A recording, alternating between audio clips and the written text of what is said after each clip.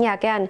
Ähm, wir können uns zum Beispiel einen ähm, Geschäftsführer eines großen DAX-Unternehmens vorstellen, der der Korruption bezichtigt wird. Und wir nennen ihn jetzt einfach mal Frank. Und es scheint irgendwie Teil der Anklage da zu sein, dass, ähm, also stellen wir uns vor, zum Beispiel, der hat irgendwie einem Hedgefondsmanager Insider-Informationen zum Aktienhandel verkauft und ist deswegen der Korruption angeklagt, dann scheint es irgendwie Teil der Anklage zu sein, dass er das als Geschäftsführer dieses großen Unternehmens nicht hätte tun dürfen. Ähm, wir können uns aber auch vorstellen, dass der Frank das gemacht hat, weil der Hedgefondsmanager sein bester Freund ist und in, ganz schwierigen, in einer ganz schwierigen finanziellen Situation ist. Vielleicht ist irgendwie ein Kind erkrankt, kann man ausbauen, wie man will, wo man dann vielleicht zu dem Urteil kommen würde, dass er das als Freund schon hätte tun dürfen. Und dann hat man diese zwei Aussagen. Er hätte das als Geschäftsführer nicht tun dürfen. Er hätte das als Freund tun dürfen. Ähm, und eine Frage, die man sich dann stellen kann, ist, was man damit eigentlich sagt, wenn man sowas sagt und unter welchen Umständen das stimmt, dass sich das so verhält. Und eine dritte Frage, wie sich das dann alles dazu verhält, ob der Frank das hätte tun dürfen oder nicht tun dürfen. Ähm, das ist so ungefähr das Phänomen, was mich interessiert. Das ist aber ein sehr viel allgemeineres Phänomen. Also vielleicht, es scheint sozusagen, dass wir ganz oft Dingen oder Personeneigenschaften relativ zu einer Funktion oder einer Rolle zuschreiben. Ähm, wir können zum Beispiel irgendwie denken, dass bestimmte Bücher gut als Unterhaltung, aber nicht als Literatur sind oder dass ähm, ein Politiker ähm, als Volksvertreter in ein Land einreisen kann oder als Privatperson ähm, oder vielleicht, dass ähm, bestimmte Menschen als Teil einer Minderheit diskriminiert sind, während sie als Teil einer anderen Minderheit, ähm, der sie auch angehören, möglicherweise sogar bevorzugt sind. Und in all diesen Fällen stellt sich immer wieder die gleiche Frage und es ist ein relativ allgemeines Phänomen, würde ich sagen.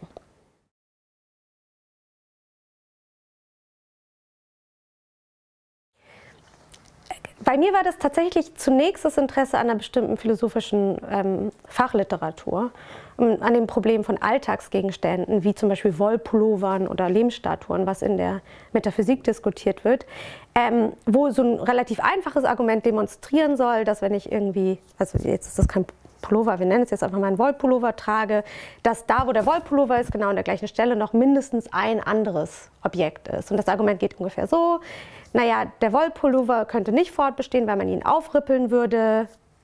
Der Wollfaden, aus dem er gestrickt ist, könnte sehr wohl überleben oder äh, könnte sowohl fortbestehen, wenn, er, äh, wenn der Pullover aufgerippelt würde.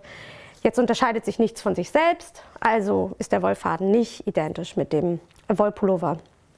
Ähm, und da gibt es dann so einen Move in der Literatur von Leuten, die das irgendwie ablehnen, die denken, naja, ist, ist, hier ist doch nur ein Gegenstand, dieser Wollpullover, und der ist halt aus diesem Wollfaden gestrickt, aber den Wollfaden habe ich einfach nur verändert und nicht irgendwie was Neues in die Welt gebracht.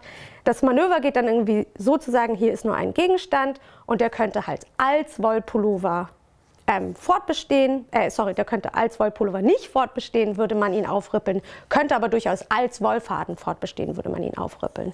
Das hat mich interessiert und was mich aber so ein bisschen verwundert hat, ist, dass so die Theorien, die es dazu eigentlich in der Literatur gibt, wie man das jetzt zu verstehen hat, ähm, sich überhaupt nicht anwenden lassen auf diese ganz einfachen Fälle. Also wie zum Beispiel, dass jemand als Privatperson in ein Land einreist, ähm, oder dass etwas gut als Unterhaltung und schlecht als äh, Literatur ist oder so. Und dann dachte ich, hm, es müsste doch eigentlich möglich sein, eine ganz allgemeine Theorie dieses Phänomens zu geben, die sich sowohl dann ähm, hoffentlich auf die, den Wollpullover anwenden lässt, aber eben auch diese ganz normalen Alltagsphänomene einfangen kann. Und dann, das war so ein bisschen der Startpunkt der Dissertation.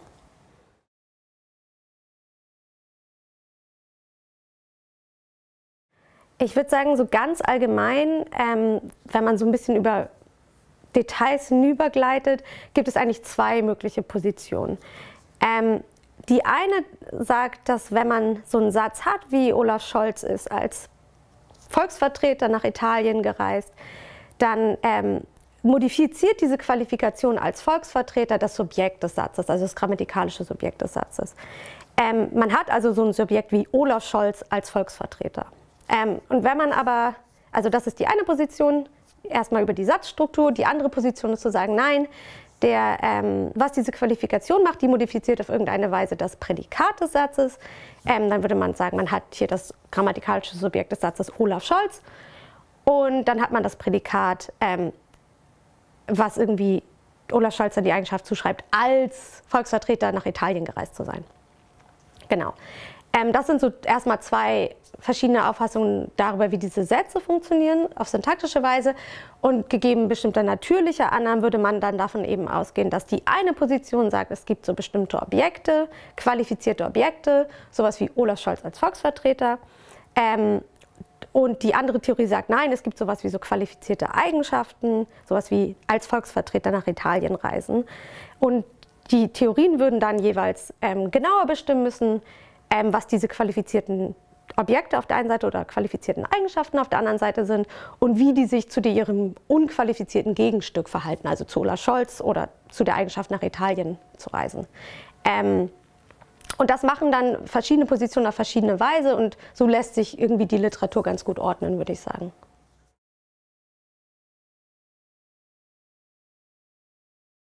Also ich gehöre auf jeden Fall zu den Leuten, die meinen, dass ähm, von der Satzstruktur her solche Qualifikationen in irgendeiner Weise das Prädikat modifizieren.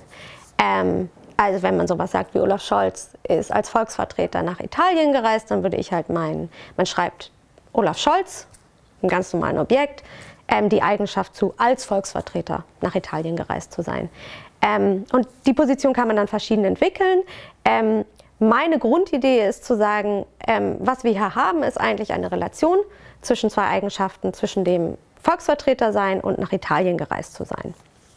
Und ähm, was so ein bisschen frustrierend ist, ist, dass ich sagen würde, auf der semantischen Ebene können wir nicht sehr viel mehr und sehr viel, was sehr viel Informativeres sagen, als dass in irgendeiner Weise ähm, dieses ähm, nach Italien reisen relativ ist zu dem Volksvertreter sein. Ähm, man könnte erstmal denken, dass in dem Fall es ja relativ klar ist, dass nach Italien als Volksvertreter zu reisen einfach eine Weise ist, nach Italien zu reisen. Man kann mit dem Boot nach Italien reisen, mit dem Zug, mit dem Flugzeug, das sind Weisen, nach Italien zu reisen. Ähm, es gibt aber auch verschiedene Weisen einzureisen, als Tourist, als Diplomat, als Volksvertreter. Ähm, und das sind doch jetzt einfach Weisen, irgendwie diese Sache zu tun. Und können wir jetzt nicht, das wäre ja so ein bisschen ähm, eine Möglichkeit, eine allgemeinere Theorie zu geben, können wir nicht sagen, dass ganz allgemein, wenn etwas ähm, f als g ist, dass es dann sozusagen auf eine geliche Weise f ist. Ähm, und das Problem damit ist, dass sich, wenn man das so verallgemeinert, dass man einfach die falschen ähm, Konsequenzen ziehen muss in manchen Fällen. Also in dem Fall funktioniert das ganz gut, weil man natürlich, wenn man als Volksvertreter in ein Land eingereist ist, man eingereist ist. Das folgt einfach daraus. Genauso wie wenn man auf eine scharlachartige Weise rot ist, man rot ist oder so. Ähm, aber in den anderen Fällen, die wir haben, ist das schwieriger zu sagen. Also zum Beispiel, wenn wir jetzt sagen, der ähm, Geschäftsführer hätte diese Geheimnisse ähm, dem Hedgefondsmanager als Geschäftsführer nicht mitteilen dürfen oder verkaufen dürfen. Ähm, wir aber auch sagen wollen, dass er das ähm, als Freund hätte tun dürfen. Und wir sagen jetzt, es gibt also eine Weise, in der es ähm, sozusagen, ähm, in der es erlaubt war, nämlich als Freund und eine Weise, in der es verboten war, nämlich als Geschäftsführer, dann würden wir nach den Prinzipien, die wir eben gesehen haben, eben auch folgern müssen, dass es sowohl erlaubt war als auch verboten. Und das ist ja das, was wir gerade nicht wollen. Das heißt sozusagen, wenn man, es, es gibt die Versuche, diese in den einfachen, ne, ne, also einen einfachen Fall zu nehmen und das, was dort passiert, dann zu verallgemeinern und dann passt es eben auf die anderen Fälle nicht. Ähm, meine Idee ist am Ende so ein bisschen ähm, gewesen zu sagen, ähm, wir haben hier eine sehr, sehr flexible Konstruktion, mit der man sehr viel sagen kann, sehr viel Verschiedenes sagen kann. Und das kennen wir eigentlich auch ein bisschen. Wir kennen das zum Beispiel von sowas wie ähm, dem Genitiv. Wenn ich sowas sage wie Barbaras Buch liegt auf dem Tisch, ähm, dann sage ich auf einer semantischen Ebene, das meint zum Beispiel, also das ist etwas, was zum Beispiel Barbara Partie sagt, auf einer semantischen Ebene nicht viel mehr, als dass es ähm, dass ein Buch auf dem Tisch liegt, was in einer bestimmten Beziehung zu Barbara steht. Wo, was diese Beziehung ist, eben von Fall zu Fall unterschiedlich sein kann. Also ähm, gewöhnlicherweise, wenn ich sowas sage wie Barbaras Buch liegt auf dem Tisch, würde man vielleicht erstmal denken, das ist halt irgendein Buch, was Barbara gehört. Aber es könnte im akademischen Kontext, das ist besonders naheliegend sein, das letzte Buch, was Barbara geschrieben hat. Ähm, es könnte aber auch, wenn man jetzt in einem Buchclub oder sowas ist, einfach nur das Buch sein, was Barbara heute vorstellt. Also dann sagt man irgendwie, Barbaras Buch war lustig und Renates Buch war langweilig oder so. Ähm, dann hätte man einfach gesagt, das ist das Buch, was Barbara heute vorstellt und es muss ihr nicht gehören, sie muss es nicht geschrieben haben. Sie hätte es aus der Bibliothek ausleihen können oder sonst was. Und meine Idee ist halt zu sagen, genauso ähm, sagen wir, wenn wir sagen, dass etwas ähm, F als G ist, dann sagen wir, es gibt halt eine Beziehung zwischen dem F-Sein und dem G-Sein. Was diese Beziehung ist, hängt einerseits davon ab, welche Werte F und G bekommen ähm, und vielleicht auch ähm, von, dem, von, dem, von dem Kontext oder den genaueren ähm, Umständen. Was mir aber trotzdem war, ähm, wichtig war zu zeigen, ist, dass obwohl sozusagen ist man auf so einer größeren Abstraktionsebene nicht, nicht besonders was Informatives sagen kann, diese Qualifikationen trotzdem ähm, gewisse logische Konturen haben dass also nicht irgendwie einfach alles geht, sondern dass es gewisse Prinzipien gibt, die diese ähm, Qualifikation erfüllen und andere Prinzipien, die sie eben auch nicht erfüllen. Also zum Beispiel habe ich argumentiert, dass man nicht F als G sein kann, ohne G zu sein. Und ich habe argumentiert, dass es ähm, nicht der Fall ist, dass wenn etwas F als G ist und alle Gs H sind, dass man dann F als H ist. Das sind so zwei Beispiele. Man sieht also, dass obwohl sozusagen auf einer größeren Abstraktionsebene man nicht etwas besonders Informatives sagen kann, äh, man genug Struktur bekommt, um ähm, was Interessantes über das logische Verhalten dieser Qualifikation zu sagen.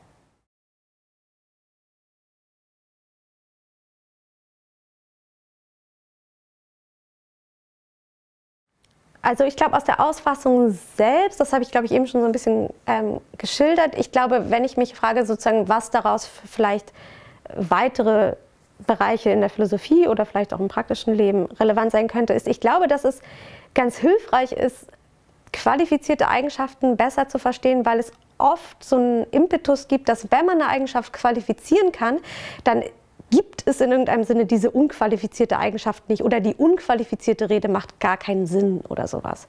Also man, es gibt Leute, die wollen irgendwie das zum Gutsein sagen, dass weil man eben sagen kann, etwas kann gut als Literatur sein, macht es dann keinen Sinn zu sagen, es kann einfach nur gut sein.